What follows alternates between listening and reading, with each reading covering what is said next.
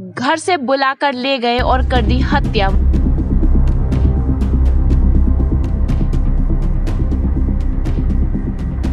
थाना फतेहगंज, पश्चिमी के गाँव रहपुरा जांगीर के रहने वाले 30 वर्षीय धर्मेंद्र, पुत्र महेश पाल को रफियाबाद गाँव का रहने वाला लखपत घर से बुलाकर मीरापुर ले गया।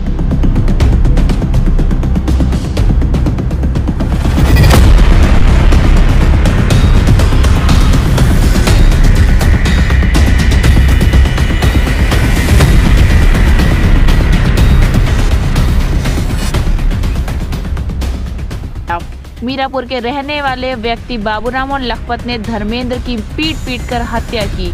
ये आरोप मृतक धर्मेंद्र के चाचा नेमचंद ने लगा।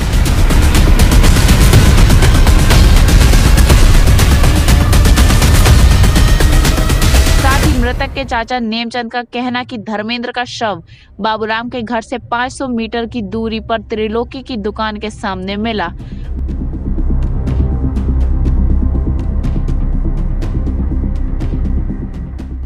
बताया कि बाबू के घर के सामने भी खून पड़ा हुआ था और रास्ते में भी खून पड़ा पाया गया। नेमचंद ने सीधे तौर पर हत्या के आरोप लगाए हैं। ये कहा है कि ये हत्या को एक्सीडेंट का रूप देने की कोशिश की जा रही है। फ़िलहाल पुलिस ने दोनों लोगों को बाबूराम और लखपत के खिलाफ हत्या का मुकदमा दर्ज किया है।